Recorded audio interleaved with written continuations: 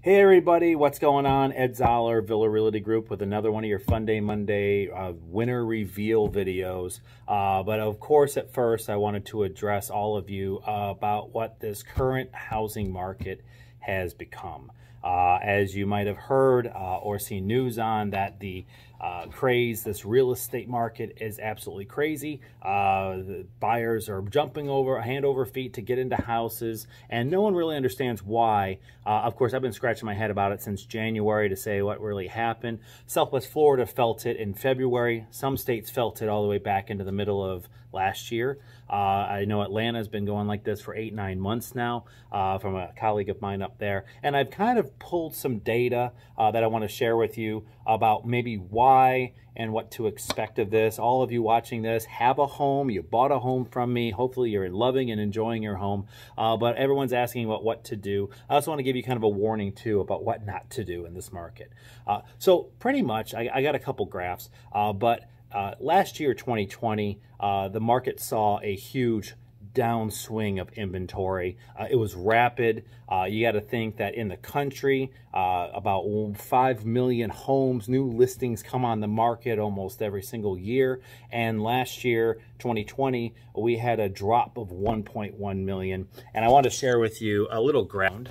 Uh, this is the nationwide, uh, you know, and it, and it goes through uh, months from January, February, March, and you can see that we've had this huge lull of inventory month by month countrywide, and the biggest ones being April, down 200,000 listings, down 160 listings, down 101. Uh, it started going back up, and then in 2021, we have down again and down again in the orange. What all this means is that buyer uh, sellers decided to stop listing. You know, I guess COVID made them stay at home, or maybe they were a little afraid. I can speak in my own personal experience that people pulled themselves from the market because they were afraid they didn't want anybody going into their home. Does that mean they're not going to sell? Were they delayed in listing? Or are they uh, just happy and content in their home where they wanted to sell and they didn't?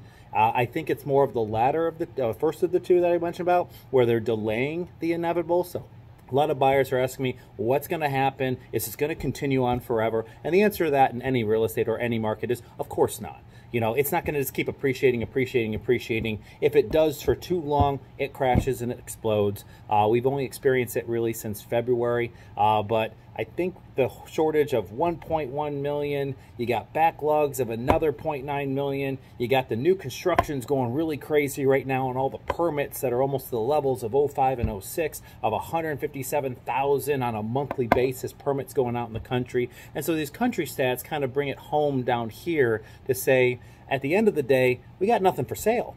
Uh, if there's if you have a house, you have something that's really rare. And I don't care if it's great looking or if it's not great looking, or if you have a pool or if you have granite. And at this point doesn't matter because there's no competition out there. I want to share with you one other stat that I found.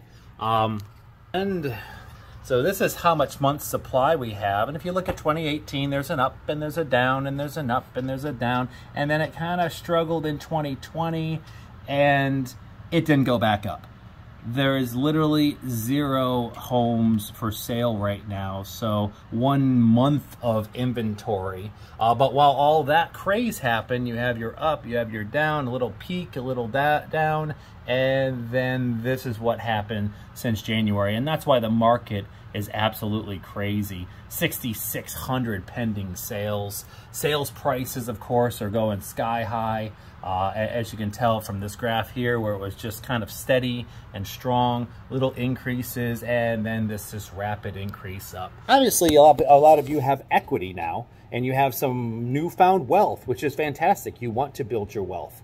Uh, but I caution you, um, do not dry up your equity. Do not borrow from your equity. Do not do a cash out refi to take that money and go spend it on something or worse, invest it in Bitcoin or some sort of idea you have or want to be a real estate investor now where you bought your home, which is a fantastic thing. And although it's horrible to be a buyer right now and absolutely fantastic to be a seller, if you do sell and stay in the same county, you're going to sell high and you're going to buy high And unless you find that smoking deal when there's nothing for sale, there really isn't. So there's this little bit of panic, a little bit of hysteria going on on buyers right now, where there's nine to one buyers to sellers because there's just nothing out there. That will change all these price increases make sellers want to sell. Uh, we have the mortgage moratorium and the eviction moratorium that's not allowing sellers to sell, uh, uh, you know, uh, or, or they end up killing in their equity by not paying their payments. My recommendation for you is please, if you're thinking of refining, don't do it uh, to cash out of it to do something that would be not uh, wise to do towards the house. And, and, don't think the appreciation always lasts forever. It doesn't. I have seen this market for 23 years now. It has its ups, it has its downs. Uh, I just, I'm, I'm fielding a lot of phone calls from you, and I just want to kind of address to everybody, you know, call me first if you're having an idea of doing something to do with your wealth, which is your house. Uh, it's a bit majority of how you gain wealth is from a house, um, but also uh, uh, not to uh, get too carried away or saying, hey, I want to sell my home and I want to buy a home, but I want to buy low and I want to sell high. And if you stay in the same market, short of you moving out of state into an area that maybe didn't show a lot of appreciation, uh, or as far as any kind of chaos, uh, then that might be a smart move. Uh, or just kind of stick put and stay in your house and be happy and keep building wealth and keep doing uh, you know, paying down your equity. Anyway, that's just a little short skivvy. If you ever want to get really detailed, I got all the data and stats. Uh, my even predictions of when the market's going to kind of stabilize a little bit. Uh, fall of 2021 is, is, where I'm looking at right now with my data. but anyway, let's get on to the trivia question. so my multiple choice question was, what is Elvis Presley? Uh, I think uh, Charlie Chaplin or, or, Robert Downey Jr. Uh, and Dolly Parton have in common, and it's all that they lost their look-alike contest. the worst one was um, Tony Stark or, or, or Robert Downey Jr. came in 27th place. Dolly Parton didn't even make the first cut. Uh, in her own look-alike contest, and I heard Charlie Chaplin came in like seventh or something like that. So all of you that answered D, uh, then you are correct. And those of you that didn't, uh, this was a stumper. I got about half of you on it, so I didn't try to make something that's not Googleable and a little more fun to do. Uh, but that's okay. You're entered too as well. So let's get on to reveal. Oh, I got an eight-sided die that's just spinning this entire time, and I'm going to stop it on seven. All right, let's look at our winners. Get my chip ready. And our finalists are Gladys Gonzalez, Colin O'Keefe, Chris Fano, and Amy Miller. I'm going to count one, two, three, four, five, six, seven. Make sure it's in Zoom, and here we go. Whoa, jumping. It's jumping. And we got Gladys Gonzalez.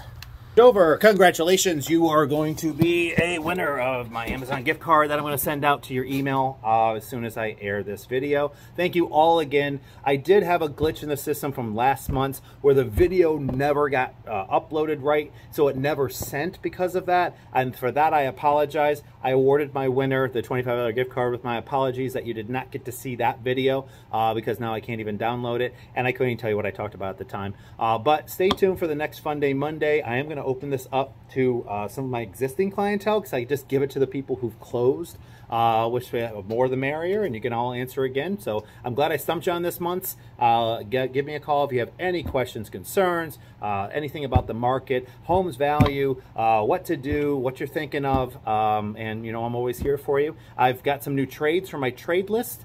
And so if you have any need of anything, and thank you all very much in the newsletter for giving me qualified painters. I've called them all. I've actually picked one and I've already sent him on his first job. Quite thrilled with that. So if you need a new painter, I got one for you. Uh, so anyway, this is Ed Zoller, uh, Teachers Can Buy Homes, Villa Realty Group, and you guys have a great evening. Thanks. Bye-bye.